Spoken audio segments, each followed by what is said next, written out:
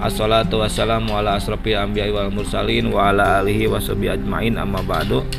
Alhamdulillah eh, pada siang hari ini eh, di pesantren Darul Fikri Al Hasanah di Kecamatan Cileles, Lebak, Banten kita bisa bersilaturahmi berkumpul dengan para Ustadz, para asatid, ajengan akang-akang milnya di Banten mah ya.